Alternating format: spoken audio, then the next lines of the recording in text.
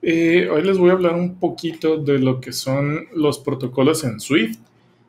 Para la gente que venga de Java este, y le gusten las interfaces, esta plática les va a gustar. Espero no haber asustado a la mitad de la audiencia con esto. Pero bueno, les voy a platicar un poquito que pues bueno, y este debajo de qué piedra lo sacaron. Eh, mi nombre es Francisco Chacón, soy de Colima, Colima, y soy desarrollador móvil en una empresa que se llama michelada.io. Me considero un Apple fanboy, más no un Apple fanboy extremista, no, no voy a a tratar de hundir a Android porque la verdad también es un sistema operativo que me, late mucho. Eh, soy gamer, me gusta mucho, mucho, mucho estar perdiendo el tiempo y procrastinando en mis videojuegos. Experto en memes. De repente eh, abuso demasiado de los memes y espero no, no sacarlos de contexto en esta plática con alguno. Y pues en algún momento de mi vida fui deportista, no todo, no todo el tiempo tuve esta forma circular, nada más que como dice la, la famosa frase, me chingué la rodilla, pero pues bueno, esperemos algún día volver. Pero bueno, les, vamos, les voy a platicar un poquito acerca de Swift. Este Swift es un lenguaje que nos trajo Apple. Llegó, es, llegó Apple con él en, el WWDC de 2014. Es un lenguaje que es multiparadigma y muy compatible con Objective-C. Este, es un lenguaje tipado, ignoran ese typo, no es tapado. Eh, ah, introduce muchas, muchas funcionalidades de los lenguajes modernos, como los opcionales, las expresiones, el uso de protocolos. Eh, el hecho de que sea multiparadigma es porque se puede trabajar tanto como orientado a objetos como funcional. Eh, les voy a platicar el tema principal del día de hoy, que son los protocolos. No es la, el, el feature principal pero sí uno de los más interesantes de Swift. Pues con él podemos darle cierta, ciertas implementaciones a las clases o darle alguna, alguna identidad o estructura. y cuando nosotros le, damos una identidad a, a, una clase, una estructura, una enumeración, le podemos decir que le estamos conformando. Hay una, una funcionalidad muy interesante de lo que se puede aplicar a los protocolos, que es la extensión. Esa la vamos a conocer un poquitín más adelante. Por el momento vamos a, revisar un poquito cómo es la, estructura de, de, un protocolo. Si se fijan, a nosotros aquí arriba declaramos un protocolo que se llama alertable. Este protocolo alertable nos dice que para vida de que la clase que lo, bueno, para que la clase lo pueda heredar, tiene que conformar también o heredar de UI View Controller. Este, esta clase que conforma el protocolo de alertable tiene que tener forzosamente esta función de showOKAlert. Si se fijan, al conformar nosotros la clase de abajo es un Alert View Controller nos forza a heredar de UI View Controller y tenemos que declarar forzosamente una implementación del show OK alert. Toda, toda implementación que conforme alertable va a tener que, tener esta, esta implementación. Pero, pues en el caso de que esta implementación la querramos utilizar como algún estándar, el hecho de estar conformando esta clase y, duplicando tanto nuestro código no nos va a dar tanta comodidad como quisiéramos. Entonces, aquí viene otra parte muy interesante de, que, nos trae Swift, que son las extensiones. Eh, las extensiones, esta sí, de plano es una de mis herramientas favoritas de, este lenguaje. ¿Por qué? Imagínense, eh, necesitamos darle alguna funcionalidad extra a, nuestra, a nuestras strings, a nuestros integers. Y en, otra, en otros lenguajes tenemos que generar una, una nueva clase que herede de, esta, de, la que queremos extender. Y en, ese, en esa nueva clase es donde vamos a, darle esa, esa nueva función. Aquí simplemente extendemos y le damos la funcionalidad que nosotros querramos sobre nuestra clase base. Eh, y al momento de nosotros utilizarlo, las extensiones con los protocolos, vamos a obtener algo bien interesante. ¿Qué es lo que nosotros vamos a obtener aquí? Aquí, perdón. Aquí primero vamos a observar. Eh, generamos la clase UI de Alert View Controller y Simplemente generamos una implementación vacía de UI View Controller. En base a eso generamos una extensión de Alert View Controller que es la que nos va a dar la implementación de alertable. Entonces ya en, este en esta extensión nosotros vamos a agregar todo lo relacionado a nuestra a nuestra nuestra implementación de alertable. Entonces de esta forma, las implementaciones de nuestra clase base quedan separadas o más bien aisladas de todo lo que vayamos a implementar de nuestros protocolos. Esto nos va a permitir tener pues, nuestras clases mucho más organizadas y pues, se ve hasta cierto punto más bonito, la verdad. Pero pues se pone mejor todavía. ¿Por qué? Porque nosotros podemos generar nuestro protocolo alertable y si nosotros extendemos nuestro protocolo alertable y dentro de este mismo protocolo este, hacemos una implementación base, si se fijan, ahora nuestro protocolo de inicio es lo mismo, genera nuestra, nos, bueno, nos indica que tenemos que descender de UI View Controller. Y ahora, en lugar de hacer una extensión hacia la clase, la extensión es hacia el mismo este, alertable. ¿Y qué va a pasar una vez que hagamos eso? Nosotros podemos heredar, bueno, o podemos implementar tal cual están las dos líneas de arriba. Entonces, pues ahora en lugar de, hacer si necesitamos que 40 clases tengan la extensión de alertable, solamente vamos a necesitar añadir una línea extra a cada una en lugar de estar duplique, duplique, duplique código.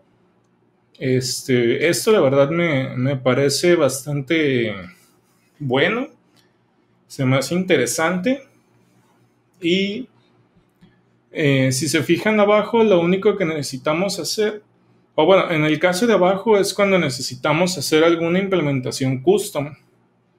Entonces heredamos de, alertable y ya generamos nuestra, nuestra implementación custom.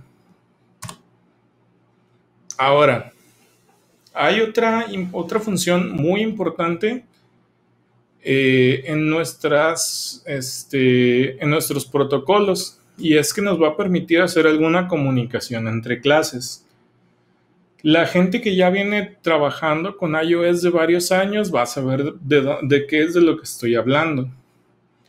Y esto se traduce en delegados. los delegados son muy, muy comunes en todas las librerías de Cocoa, Cocoa Touch, que son este, UIKit, Cocoa Touch, este, Foundation. Que esto no es otra cosa que un patrón que tal cual lo dice el nombre, delega responsabilidades de una implementación a otra.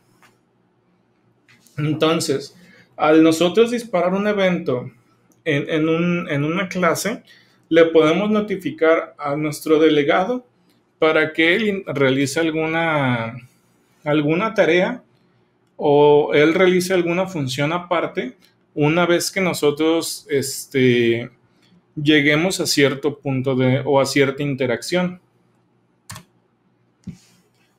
Aquí ya se empieza a poner un poquito rebuscado el código, pero pues no, no, no sé, no vamos a explicarlo poco a poco. Arriba nosotros tenemos un protocolo que es el button delegate. Ahí nosotros le decimos que va a, va a descender de una clase, o sea que solamente va a poder ser implementado dentro de clases. Eh, después vamos a decirle que esa implementación va a contener una función que se llama botón y va a responder al evento de presionado. Entonces, nosotros generamos una implementación custom de UI button que va a tener un delegado. Entonces, al momento de nosotros este, hacer el setup, le vamos a agregar un target para que cuando haya, haya cuando haya un, un, toque en el botón, este, él va a reaccionar con la función button press y va a llamar a nuestro delegado para realizar la acción que nosotros le hayamos indicado. Entonces, imaginemos que ya estamos utilizando abajo nuestro botón en el button View Controller. Ese viene hereda de, de UI View Controller y a la vez implementa button Delegate. Y si se fijan, para vida de poder tener el button Delegate, nosotros hasta el fondo realizamos la función que viene indicada en nuestro delegado, que es button que nos, regresa, llama un botón al presionar y nos manda un sender. Entonces, eso lo único que va a hacer es que nos va a imprimir quién es el, que nos envía la clase. Y al nosotros inicializar la clase, vamos a setear el, el delegado del botón como nuestra clase button view controller.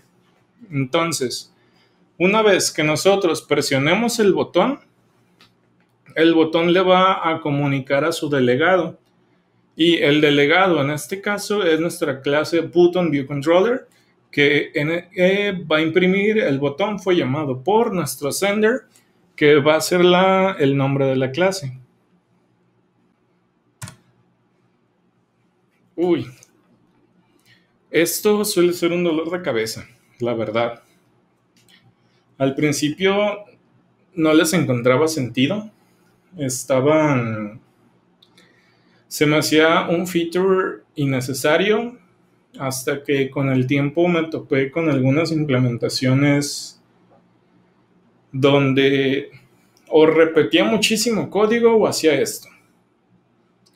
Y pues me tocó ver cómo otro, otros, otras personas con más experiencia lo, utilizaban y veía que no, era, no era tan malo como yo quería o como yo quería pensarlo. Y pues estos son los genéricos. Ah, bueno, los genéricos mm, no hay muchos lenguajes, o no, no todos los lenguajes los soportan. Eh, sobre todo, este problema nos lo encontramos en lenguajes tipados. Pues aquí lo que le vamos a indicar decir a un genérico es que nosotros no le vamos a estar enviando o no va a esperar una clase como tal, sino que ellos, ellos van a esperar un protocolo o una implementación. ¿Por qué? Porque puede ser la clase Y, la clase Z, la clase W, la clase que sea, mientras sea un mismo protocolo o tenga una misma identidad, esta función los va a poder utilizar sin ningún problema. Ahora vamos viendo por qué. Si nosotros tenemos un protocolo que es un electronic, este electronic debe de tener una marca o una brand en este caso. Eh, vamos a tener dos estructuras que van a descender o van a, van a conformar este protocolo. vamos a tener cell phone, que tiene una marca y a la vez tiene un número de celular, y una computer, que tiene la marca y un processor. Entonces, en teoría, estas dos clases son diferentes, mas sin embargo contienen el blueprint o la identidad de Electronic. Eh, nosotros al crear una, una, instancia de ellas, pues vamos a tener que ponerle cada una de sus partes para poder inicializarla. Aquí podemos trabajar de dos formas. Podemos utilizar una función que se llame Same Brand for Electronics, que va a recibir electrónicos como parámetro. Entonces va a recibir un First Electronic o un Second Electronic. Y aquí lo interesante es que eh, él sin saber si, somos, si es un celular o si es una computadora lo que va a recibir, él sabe que ese electronic va a poder tener una marca. Entonces tiene la facilidad de poder eh, hacer una comparación de first brand contra second brand. Y la segunda es la verdadera, es la verdadera implementación de genéricos, donde ya metemos en cuestión los famosos tipo T. Tipo T, tipo U, la letra que nosotros le querramos poner, pero T va, a ser un electrónico al igual que, que U. Entonces, los parámetros igual first o second, pero la clase que van a esperar es T y U. Entonces, digo, va a ser el mismo resultado porque T y U vienen de la misma conformación. Entonces van a comparar first brand contra second brand y los resultados deben de ser satisfactorios en este caso. Digo, este es un ejemplo bastante básico de cómo se, podría utilizar los, los, protocolos para realizar programación genérica. Este, digo, incluso no se tiene que limitar a que T conforme un solo protocolo. Eh, T puede conformar todos los protocolos que nosotros querramos filtrar para vida de que podamos realizar esta implementación ya sería meternos un poquito más en problemas. Este, esto simplemente lo utilicé como efectos básicos. Ya si quieren poner, eh, bueno, metí un, un, este, una instrucción del compilador que se llama discardable result. Nada más fue para que no me arrojara un warning cuando estaba haciendo las pruebas y sinceramente se me olvidó quitarlo. Ese pueden ignorarlo, no, no va a afectar nada o no afecta en nada en esta presentación, simplemente fue, fueron teclazos que se fueron. Pero, pues bueno, no sé si tengan alguna pregunta acerca de los protocolos que, que maneja Swift. Muchísimas gracias. Este, eh, los escucho si tienen por ahí alguna duda. Les comentaba, soy fanático de los memes. Si quieren encontrar alguno de los memes que me robo o me encuentro por ahí en internet, en Twitter me encuentran como PacoCD94 o PacoCD en Facebook.